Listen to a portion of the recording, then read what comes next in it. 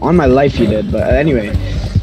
Anyway, we came into this unprepared, so I don't think there was a way we could have done that without killing her.